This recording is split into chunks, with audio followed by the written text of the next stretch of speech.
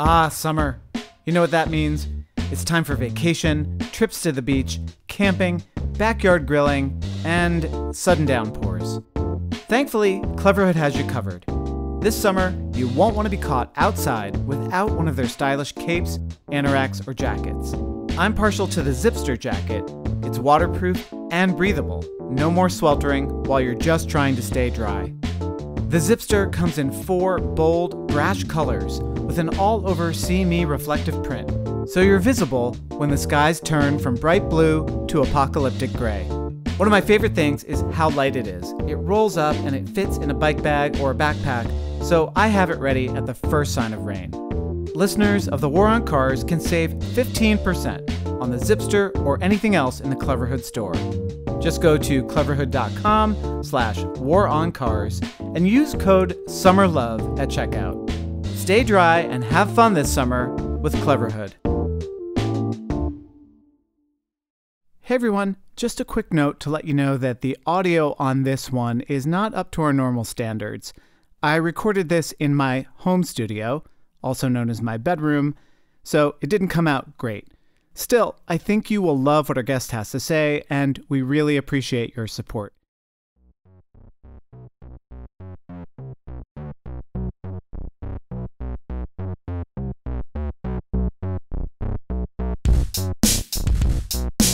This is the War on Cars. I'm Doug Gordon. I want to get right to it. Our guest for this episode is Veronica O. Davis. Veronica is the Director of Transportation and Drainage Operations for the City of Houston. She's also the co founder of Inspire Green LLC, which is an environmental and urban planning consulting company. Throughout her career, she's been involved in transportation and streets related issues at just about every level you can imagine, from being one of the co founders of Black Women Bike in Washington, D.C., to serving as the vice president of the National Association of City Transportation Officials. Basically, if you can name a mode of transportation, chances are something related to it is on Veronica's resume. I think maybe aside from like aviation and boats. Is that right, Veronica? Actually, that's not right. Fun Oh, wow. fact. Fun fact. I was an intern at New York City uh, Department of Transportation in 2002, and I worked for the Office of Private Ferry Operations. And I looked at the analysis of taking the ferry to the airports and the feasibility of it and the marketability of it. So I have worked on boats. Okay, so basically everything but space at this point. But we're getting ahead of ourselves. I need to just say, Veronica O. Davis, welcome to the War on Cars. Thank you for having me. I'm excited to be here. You are also the author of a brand new book. It's called Inclusive Transportation, a manifesto for repairing divided communities. It's out now from Island Press. It speaks to transportation planners, public officials, advocates like myself, basically anybody who has ever attended a community meeting about bike lanes or bus lanes and has wondered, are we doing this right? Is there a better way? What are we even doing here? I found the book to be a big help personally, as someone who has been doing this for a long time, especially, and I think we'll probably get into this as like the stereotype of the white bicycle advocate. So I think it was really helpful to take the opportunity to rethink my role in this, and, and the book offers lots of chances to do that. I've already welcomed you to the War on Cars, so let's get to it. Absolutely. Uh, and so, as you mentioned, I am the Director of Transportation and Drainage Operations for the City of Houston, fourth largest city. But everything I say here today, it reflects myself and not the City of Houston. So I just want to get that disclaimer out there so that I can continue to be uh, the Director of Transportation and Drainage Operations. Yeah. The listeners can't see this, but there's 10 lawyers standing behind Veronica. Right- no, there's nobody. She's alone. It's okay. Yeah, we won't get into too much Houston related stuff. Although I think, you know, Houston, there's so much going on there. I would love to come down and really dig into that city. Yeah, a scrappy little city that is getting it done. So come visit, just not during the summertime. Right. Yeah. One of the things that your book asks readers to do is to tell what you call their transportation story. You're outspoken about the fact that transportation is sort of in your blood. Yeah, I always joke I was born into it. So, a funny story is my dad used to work for UMTA, so Urban Mass Transportation Authority, and that's before the predecessor to FTA. And my mom went into labor outside of the US DOT building. while waiting for my dad to come out of a meeting. So I feel like it was meant to be. My mom is from East Baton Rouge, and she was in high school when our family home was taken to build I 10. So it is very personal. I think sometimes, particularly, you know, Doug, you and I were young, and things that happened can feel like it's so far away. But then when you realize that my mom, you know, is a living, breathing person and she was of an age to remember what was going on, it really begins to put the timeline in perspective, especially when we're working in different communities, whether it's on the advocacy side or the public sector side. You're dealing with communities that remember when the Cross Bronx Expressway was put in. You're dealing with communities that remember when the highway was built or, you know, the, the community was divided. And so it's not, we're not that far removed from many of these actions. So really framing that. And then I talk about growing up in a little itty bitty town called Maplewood, New Jersey. My parents commuted into New York every day. My mom uh, worked for New York Transit Authority. And so traveling with her to Brooklyn uh, for work when I had days off of school. And then my dad worked for Port Authority of New York and New Jersey, and then moved over to the shipping side with uh, Sealand, which was eventually became CSX. So my childhood was really in the industry um, from different perspectives. And I tried to run away from it in my mind, I was going to go to Juilliard. Uh, I wasn't quite good enough of a dancer, even though I've been trained my whole life. Wasn't good enough for Juilliard. And even going to Maryland, I started engineering undecided because I was fighting. I was like, I'm not going to follow in my parents' footsteps. And then here I am. I, I was going to ask this question. I feel like there is a different version of you that rebels against your parents, right? An alternate timeline, Veronica, that says no way. But your dad at some point actually did say to you, you know, you should think about being a civil engineer. Absolutely. When I was applying to school, I I didn't really know what I wanted to do. You know, I was interested in a lot of things. I was very into sports. I was very into dance. So I was a renaissance teen. You know, I did it all. And I didn't know what I wanted to study. And so my dad was like, just, you know, you should do engineering. I was very good at math. I loved math. I loved science so much so my junior year, I took senior level physics and then I took chemistry as a junior. And so that's when my dad encouraged me to apply to engineering schools. So even then I was like, fine, I'll do engineering. But freshman year, I walked out of chemistry and I was like, I am going to declare my major and I need something where I never have to take another chemistry class. And so that's how I ended up being in civil. And then even then, I was like, I'm going to do structures. And I know we talked about aviation, but one of my first internships was at a National Airport, Reagan National Airport, if you're new to DC, but National Airport. And then I was like, no, I don't think I like this. And so ended up in transportation. But again, you know, the more I pulled away from it, the more it, it grabbed me and pulled me back. And so you also have this unique perspective because you worked for the Federal Highway Administration Correct. as well, right? For Correct. a couple of years. Mm-hmm. Yeah. What did you do there? So I don't know. I think the program still exists, but it was a really great program. It was called the Professional Development Program. And many of my colleagues now are running transportation agencies, both at Federal Highway and then just around and local. But it was a two year program, and you spend two years getting a lot of training. So leadership training, uh, training on different competencies. Then you get a chance to rotate. It's called temporary duty assignments. So, although I was based out of headquarters in DC, I had an opportunity to work in the North Carolina Division office in Raleigh, North Carolina. I had an opportunity to come to Houston and work at the Houston Galveston Area Council, which is the regional MPO. I got a chance to work for EPA and the Office of Transportation and Air Quality in Ann Arbor, Michigan. And then I got a chance to work in the Maryland Division office in Baltimore. And so through those experiences, um, you get to work on different things. Um, I got to work on the environmental side of reviewing the environmental impact statements for highways. My dark cloud is I was one of the federal reviewers on the environmental impact statement for the Intercounty Connector in Maryland, which is, you know, kind of the big highway that uh, connects Montgomery and Prince George's County. Uh, and it had been on the books for decades. Uh, so I am in the record of decision as one of the reviewers and commenters. But I also had really great experiences being able to work at HGAC. So right after Hurricane Hurricane Katrina, and then Rita was right after. Uh, I moved here about a week after, and so getting to do a lot of that analysis on why the evacuation failed and the different lessons learned, and kind of what are the recommendations, you know, as you move forward. So I got a chance to work on that. So, really, just kind of a breath of experience.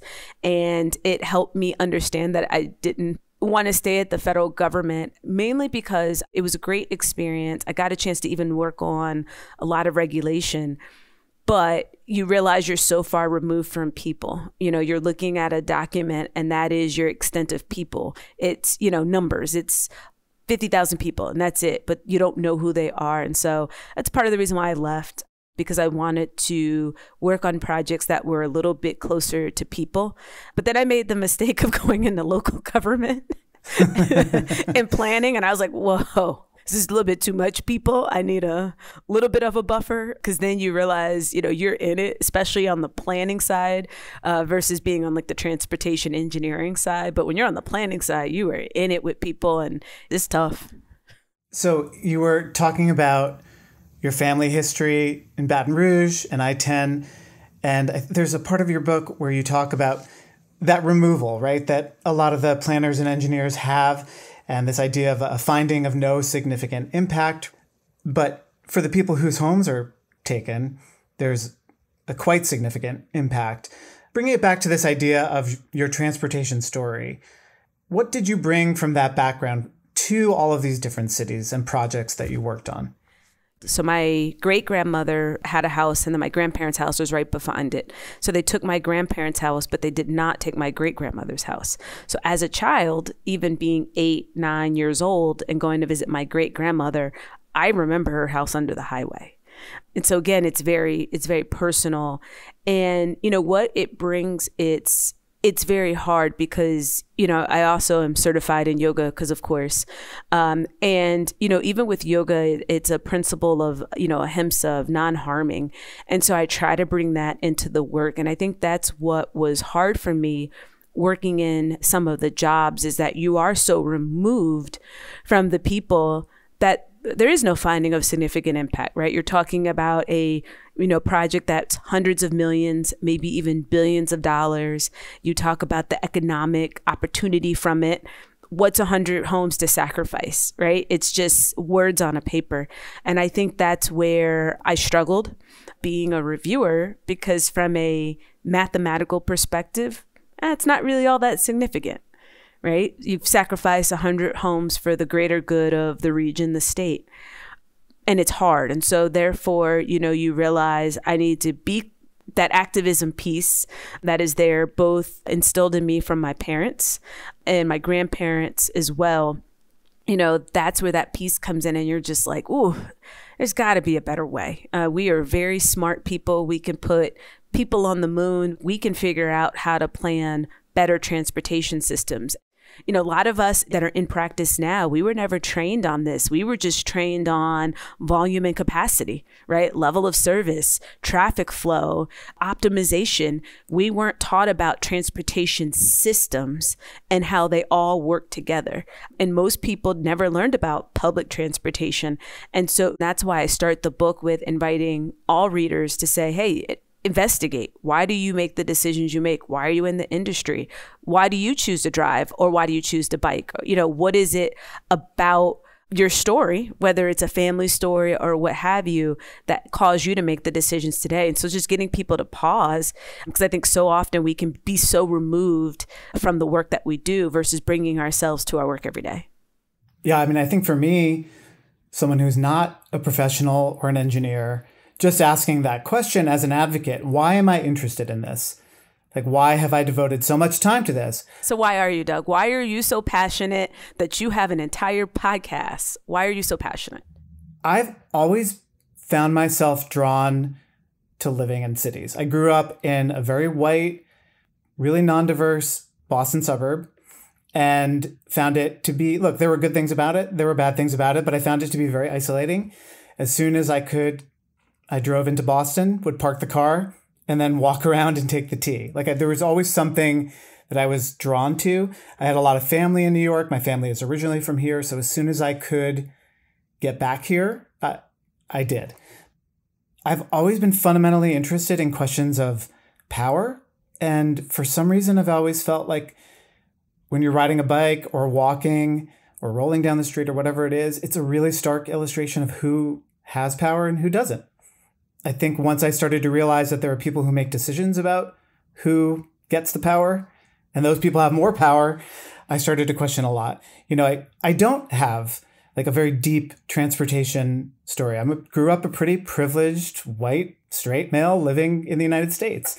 So I wish I could say I had some like great struggle or something like that. It's just a thing I started to get really interested in. I think, to be honest, as one of the few Jewish kids in my largely white Christian town, I started to feel that minor sense of otherness that allowed me to identify with people with perhaps a much bigger sense of otherness where they're from. So that's sort of all informed where I am today. That's a very incomplete answer. No, it's okay. And all transportation stories don't have to have a struggle. I mean, even for me, you know, I grew up in a really again, Maplewood, New Jersey. Just Google it. It's it's adorable little town. It's a cute. T- it's a very lovely little, you know, like streetcar suburb kind of place. It very right? yeah. is. It's a very walkable town. I remember growing up, getting on my bike and just going right because my mom didn't have to worry about me. Although my town was very hilly, so we did walk the bikes up. But you know, my parents did commute into New York, and so my mom's round trip commute was about two hours. She would take New Jersey Transit into Midtown, and then take the train down to Brooklyn. And then my dad, same thing. And so part of that informed for me as an adult that like I'm not really trying to live that far from work. And as soon as I was able to save up money and buy a place, I bought a house that was like a 15 minute bus ride to work because I was like, I am not trying to do a long commute. And that has informed a lot of my decision making, even now as an adult living here in Houston, of being willing to pay a little bit more for housing to have a shorter commute. You know, my commute now is 25 minutes, and that includes a daycare drop off, talking to the teacher, giving lots of hugs and kisses. But a lot of those things just inform kind of who we are and our experiences. I want to talk a little bit more about what I think is sort of the core of your book, which is the planning process and the public engagement process. These are two things that are often confused with each other. They are the subject of a lot of debate here on this podcast in sort of urbanist circles as well. Like, what is a good public engagement process? Often we know what a bad example is because that's usually the default. Is there, in your mind, the platonic ideal of a public engagement process? I think it comes down to being honest about what you're doing. I think in some cases, it's okay to say this is what the project's going to be and not pretend because I think that's where people start putting their guards up of you're pretending and you come out and say, "Okay, Doug, you know, tell me what is it that you would like to see? Like what you No, we know that we have we have done the analysis and we're going to put a bus only lane on this street. That is the decision, right? And so it's being honest sometimes about these decisions of this is the decision, here's why we made the decision, here is where you can have input of you know hey maybe we need to talk about bus stops. Do you should we move this one? Should we move this one? Could the bus stops be better? I think it is just going ahead and and, and being honest uh, sometimes about your intentions. I think when you pretend and create a process around a pretend decision that's where you start riling up a lot of conflict. I think one, when you don't acknowledge just kind of bigger issues that are happening in the neighborhood, like even bike lanes, bike lanes are just, it brings out the emotions in every community. And it's not so much about the bike lanes itself right? It is some cases of perception. It is you're challenging my culture of, you know, I may come from a person where no, you should drive. Driving is a symbol of status. So why would you put this bike lane? Because that means poor people are going to bike. Like, no. Or in some cases, in you know, maybe lower income neighborhoods, it's not that I don't want the bike lane, but I ride the bus. Like you're trying to force me to do something different. I already don't have a car. I'm trying to ride the bus. My bus doesn't show up on time. My bus is crowded. Can I get a reliable bus? And then I'll talk to you about your bike lane.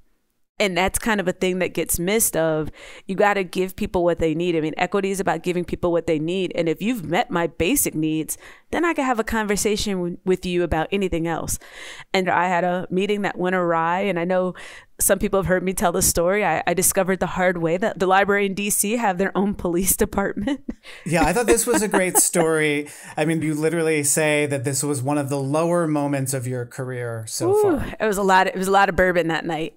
For those of you that may be familiar with DC, this goes through right in the middle of DC, and almost like the ground zero for not really gentrification per se, but a grasping of culture. So this largely goes through downtown where you have a lot of office buildings, you have a lot of, you know, museums and all that other stuff. And that part really wasn't the issue. It was the part where you're going through the neighborhood. So you had historically black churches that have been in the city through all of it, right? Through the riots, through the crack epidemic, through all the renewal and urban revival and all of that. So they've been through it all. You had a, you know, black community holding on in order to stay. You had new residents coming in, you had urban development.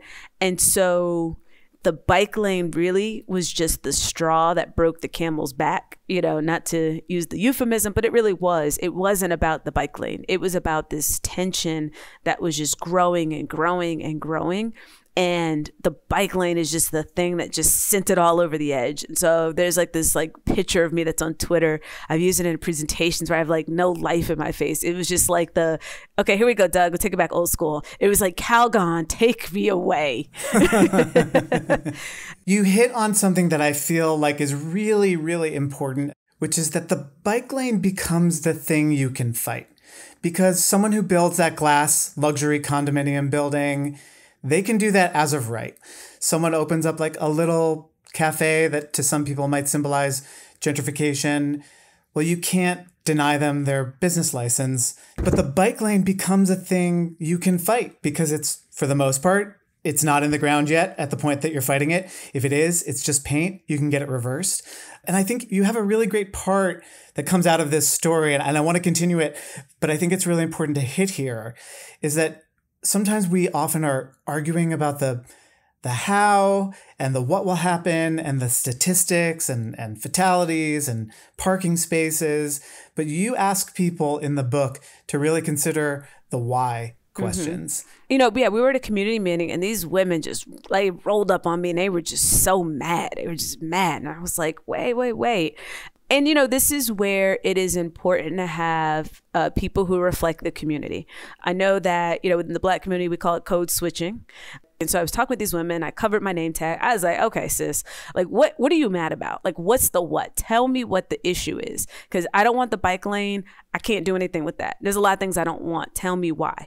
And so they were like, because I don't bite. Oh, okay. So why don't you bite? Well, because I don't have a bike and it's been years since I biked. Okay. So if you had a bike, would you bike? Well, well, well, maybe. And so it was just like really kind of unpacking and unarming. And so at the time, you know, being one of the uh, leaders of Black Women Bike within uh, DC, you know, being able to get their contact information and connect them with some of the other members within Black Women Bike DC, and it just disarmed them a little bit because I think sometimes I know there's the thing that's like interested but concerned. I think there's a lot of people who are like, I don't even know I'm interested because no one's asked me, right? I think that's really what it is, and so you know by presenting it of like, well, why don't you like? This would be great for you. You could, you know, you don't have to bike to church, you know, but you could just, you know, bike to the grocery store, save yourself a little money on gas. And I think framing it that way made a difference. Yeah, and I'm sorry I didn't really get into Black Women Bike earlier, but I do think it's a, a, thing that sort of also separates you from a lot of civic officials that you have this incredible educational background, like you talked about your family story, but you're also this street level activist who kind of got out there on two wheels and understands what is keeping people from getting on bikes, especially women of color. And I think that obviously served you well in this story about the Eastern Downtown Cycle Track Project. I mean, when I read that story in the book, I there were a lot of forehead slapping moments in that story.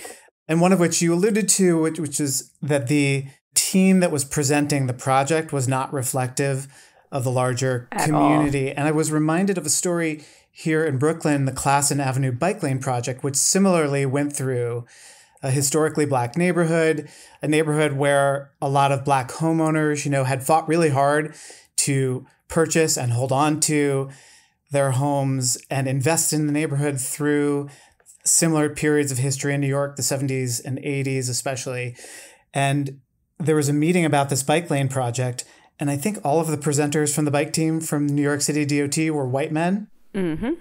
And as you point out in the story about the DC project, the engineers and planners were the white men, and the women and women of color were sort of out in the lobby dealing with the overflow of the angry people who couldn't get into the meeting. Yeah. And I think it's one of those you realize how bad the optics were, you know, now that you have this yeah. room, because particularly one of the black churches like shipped in people.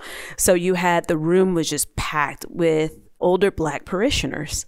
And then you have these, you know, white guys all pretty young, you know, standing in the front as the like engineering team. And then the rest of us, we were all in the lobby and had a whole separate meeting. And it was very interesting that the meeting that the women and we were all mixed, you know, black, white, Latina, Asian. And so we had a whole separate meeting in the lobby, impromptu. And the vibe of what was going on in the lobby was very different than the vibe that was happening in the room itself. And it is one of those like head slaps and not in a performative way. I think is because this is what I don't want is people to be like, let me go find the one black employee and put them in front of the black community.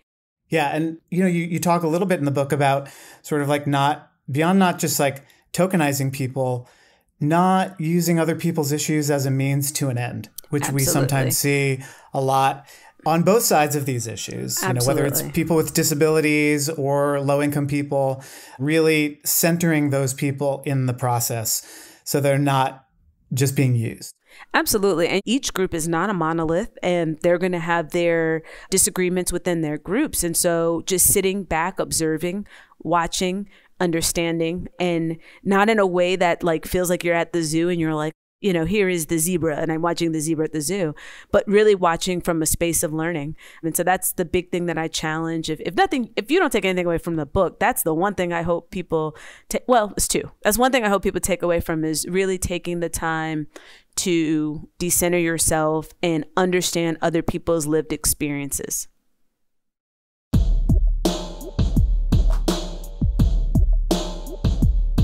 Hey, it's Aaron with some big news for you. I'm here to tell you that I bought a Rad Power bike last fall and I've been riding it for almost a year now.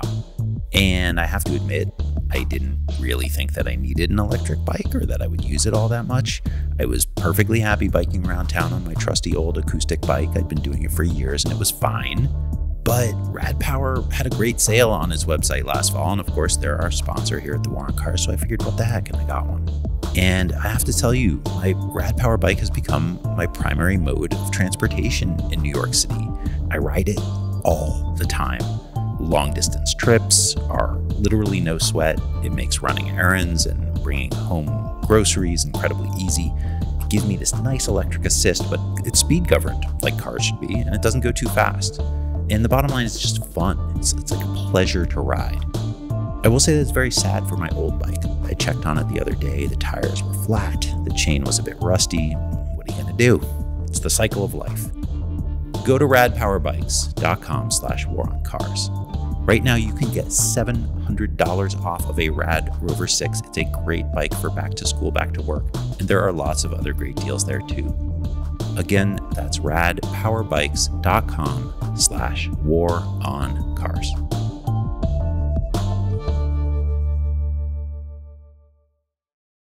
I thought one of the really interesting lessons from the DC project that you were talking about was the planning department comes in, they say, we want to put this cycle track along this major corridor that cuts through all these different neighborhoods. And the sidewalk thing came up. Basically, like, you want to put a bike lane in. Come on, how come I don't even have a good sidewalk on my block? Yep. And that a really easy pitfall to avoid would have been for the Department of Transportation or Public Works to have said, hey, before we go to this community with this bike lane project, let's go fix all the sidewalks. Let's talk to the business owners about what they need. Let's talk to the residents about what they need. And that process can be challenging too. But I thought that was a really important lesson as well. It's a very important lesson. And I think it would have made things a lot easier because even people who would have supported the project weren't at the table because they're like, I don't really care. Again, you haven't met my basic need of I can't push this stroller down the street. Why are you talking to me about a bike lane? That was one of the concern of, you know, one of the churches. They're like, yeah, yeah, yeah. My parishioners can't even get across the street. You had like a great list of four big reasons why there's this disconnect between the public engagement process and the planning process. We talked a little bit about them, you know, this idea that the engagement team and the planning team or the engineering side are often on kind of separate tracks that don't speak to each other. You talked about this idea that the transportation team sometimes just says, yeah, we know what we want to do, but we have to kind of check this box of public engagement. This idea, which you also hit on, that planners and engineers are not trained in effective public engagement, which I think is something that this book is hopefully trying to correct. But then you had a really great one, which is that governments are sometimes afraid of the public. What happens is because people remember the last time they got yelled at. And so then now they have to go back to this community, right, and do a project meeting. And so then they're like, no, but people are going to yell at us. So, and they're so afraid of getting yelled at that they create this like public meeting and we're going to do this. We're going to make it very short. We're not going to have a presentation. No, we're not going to allow these things. And so then the public comes and then they're rightfully upset and they're like, see, see, see, we told you they were going to get upset. And so sometimes that happens is that some governments are afraid and largely because engineers aren't trained on this I personally don't like the stereotype that engineers are introverts, but some engineers are. And so, you know, that's why they go into engineering. I don't really want to talk to people. I just want to design this thing. And so you have that going on too, where people already have anxiety about public speaking. And then now people are yelling at me and it's like, ah, you know? And nobody's served well by that process. Nobody. Not the not the engineer, not the engagement person, and certainly not the neighbors who are screaming at each other. Absolutely. And you know, I think that's one of the things I always urge people, even when you know what the project is going to be, try to break off just something that the community control. I had another project where for safety reasons, the road was split and there was this wall that was going to be built. And so the community was just upset about this wall. And you know, and, and we had a pre-meeting with the client prior to this. I was like, what can you allow them to decide? So it was landscaping. There was a landscaping committee. And then what we also got them to agree was they were going to mock up two different stone walls and the community could vote on which type of stone that they wanted to be on the wall and it helps people to still feel like I have some type of decision making power. But it's you have to sometimes be very clear. Like safety is non negotiable. So within our budget, within our time available to us, this is what's going to be. But you guys can decide what the wall looks like. And so I think it's really important for agencies to try to allow people to have some decision making. And again, if it's something simple or something cosmetic, let them pick it. There's a word that you talk about in the book that I tend to not like very much, although you unpack in a really great way. And that's the word stakeholder, because often the word stakeholder in the mouths of bureaucrats, at least in my experience here in New York, usually means people who are primarily concerned with parking and access for drivers. Stakeholder usually doesn't mean people who just want to get from point A to point B on their bike without being killed. It doesn't usually mean people who would benefit from a faster bus commute, but are stuck on the bus and can't come to a meeting at 6:30 p.m. on a Wednesday night. But you take the word stakeholder and you break it down into sort of four different types of people. So I talk about, you know, people with the power. And that can look like a lot of different things. You know, in some cases, there's the obvious people with power, your elected officials, even someone like myself that sits in a position where I am empowered to make a lot of decisions. And for the ones I'm not, I have the ear of the person empowered to make a lot of those decisions. And so it's just understanding that there are people with power. There's people with informal power like I know um, in my neighborhood, there's like every neighborhood has that like mayor that is the informal mayor. It's the person that can get everybody to come to a meeting. It's the person that can whip people up. I talk about the naysayers, and I'm very careful to split people are saying no for different reasons. Some people they're saying no because it's like, no, I don't want to be harmed. And having the respect there. There are people that are going to say no because they're just like, I am perfectly fine with how things are and I don't want anything to change. So my answer is always going to be no. And so it is important. And it's like what you're talking about, Doug. It's the people who are like, nope, I don't want to deal with traffic. I don't want to lose my parking. I'm not giving up anything. Don't care. This is my life. You go move somewhere else if you want something different. And you're very careful to distinguish some of these people from what we might just call straight up NIMBYism. Straight up, exactly. And so it's important to ask the questions of like, okay, but why? Like, tell me what it is. Don't just say I don't want the bike lane because that doesn't that doesn't get me anything. I talk about the silently suffering and those are the people that don't have the time to go to a public meeting because they are just trying to exist. And if you want to know the silently suffering, look at COVID, right? So, COVID, you had many of us were privileged to be able to work from home. I know for for me here, I had a lot of my staff still, you know, fix the potholes, it still fix the traffic signals, and they can't work from home. And then there's the, you know, the advocates, right? The champions, the people who are passionately for things and there's a care and a duty because sometimes advocates can push to the point where they won't accept anything but you have to be willing to compromise and it's hard right and advocates will say i don't want to compromise my safety i'm gonna die right and it's like I hear you. Wait, you're saying we can be a little dramatic? I'm not sure I understand. You know, champions could be dramatic, you know. And so it is even with that group of understanding champions that have ulterior motives because sometimes they will turn a silently suffering's issue into their issue in order to push what they want, but that might not necessarily meet the needs of that community that's silently suffering.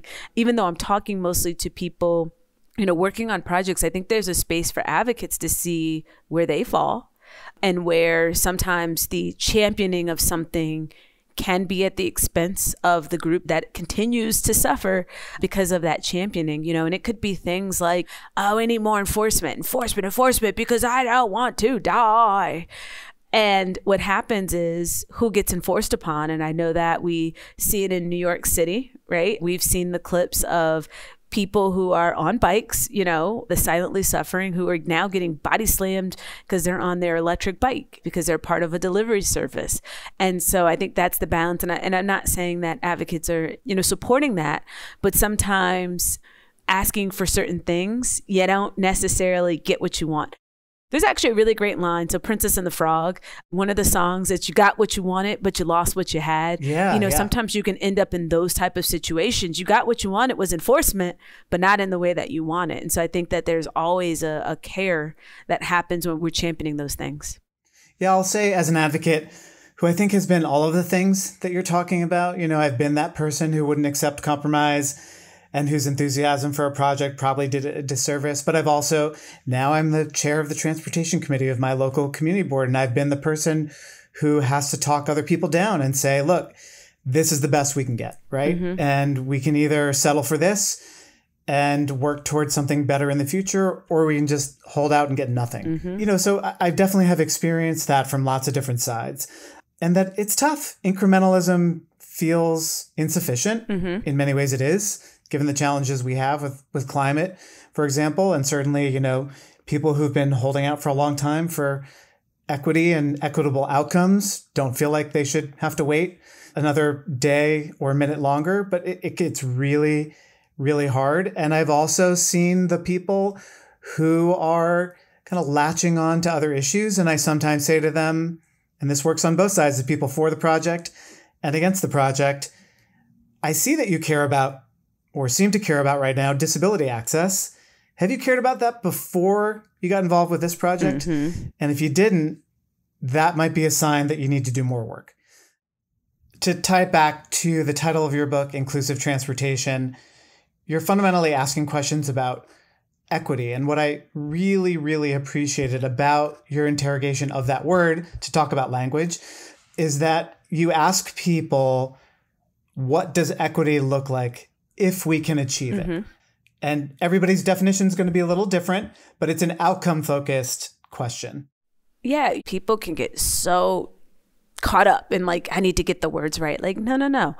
What does it look like if we achieve it? Because if equity looks like any kid, regardless of where they live, can walk to school, can be thriving, can be healthy, can laugh and play, and can independently bike on their own to the playground, if we say that that's what equity is, then that informs a lot of the decisions that we need to make. But if we don't think that that's what equity is, well, then that's a different conversation. Because until we can paint what it looks like, you're just getting caught in words. And if you can paint the picture of what you are attempting to achieve, then you can work backwards and say, okay, well, now how do we get to that vision? Normally, I would say that is a great place to end our episode, but I do have to ask one last question. We've jumped around a little bit. Chapter three. Yes. Title of that chapter Should there be a war on cars? You're not asking, should there be a podcast called The War on Cars, but should there be a war on cars? Should there be a war on cars? You know, so I dance around this and I talk about, you know, it's not that there should be a war on cars, but cars are the problem. And I think now you're getting a lot more attention. The fact that you have over 40,000 preventable deaths every year. I think that the war is going to happen. It's one of those things that either you change your behavior or you will be changed. Our climate is changing, it is becoming more intense. What COVID taught us, what COVID should have taught us, is you change the behavior or you will be forced to change your behavior. And so, you know, the war, I think, you know who I think is going to lead the war? It's going to be the insurance companies. You know, you see it now where State Farm is like, good luck, California. We're not insuring any more homes because of the repetitive losses. And I think that now when you look at vehicles, I think that it's going to be the insurance companies that they're going to start calculating the cost and say, they don't want to pay out, right? They do not want to pay out. They want to collect your premium and they want all to be right with the world. That is how they make their money. They don't make their money if there's a whole bunch of crashes and now they have to pay out because people are dying. That is not how they make money. Death does not make them money. And so I think that that is going to be, that's my sleeper pick uh, for the dark horse to lead the war on cars. You see premiums are going up. I think that they are going to eventually start saying, like, hey, we're not going to insure this type of car. You know, we're not going to insure this big old truck that you're not using for work. You're a professional air hauler, right? You're you're literally carrying air around every single day. You are not using this for work purposes and therefore we are not going to insure you. And I think that is going to be the group that is going to start really forcing a lot of this change that is going to happen because, you know, we just can't keep going on with crashes being where they are. So I guess we should say insurance companies, welcome to the war on cars. One day, soon enough. Absolutely. Yes. One day. I'm telling you, that's my sleeper pick. Veronica O. Davis, thank you so much for joining us. The book is called Inclusive Transportation, a manifesto for repairing divided communities. I gotta say, cities need more public officials like you. Keep up the good work down there in Houston. Hopefully, we'll get to talk again when you're, I don't know, leading US DOT or something like that. I don't want to get you in trouble, but you know what I mean. I got you. Thank you for having me. It's been a great conversation. That's it for this episode of The War on Cars. Thanks again to Veronica O. Davis for joining me. You can pick up a copy of Veronica's book, Inclusive Transportation, at our official page on bookshop.org. I'll put a link in the show notes. If you like what we do at The War on Cars, please become a Patreon subscriber. You can go to thewaroncars.org and click support us and enlist today. Membership starts at just $3 per month. You'll get access to exclusive bonus episodes, ad free versions of regular episodes, and we'll even send you stickers and a handwritten thank you note. Speaking of thanks, we want to recognize our top Patreon supporters the Parking Reform Network, Charlie G. of Human Powered Law in Portland, Oregon, the Law Office of Vaccaro and White in New York City, Virginia Baker, Martin Mignot, and Mark Headland. Many thanks to our friends at Rad Power Bikes and Cleverhood for sponsoring this episode. For a 15% discount on the best rain gear for walking and cycling, go to cleverhood.com slash war on cars. Use coupon code SUMMERLOVE when you check out. This episode was edited by Ali Lemer. Our theme music is by Nathaniel Goodyear. I'm Doug Gordon, and on behalf of my co hosts Sarah Goodyear and Aaron Naparstek, this is the War on Cars.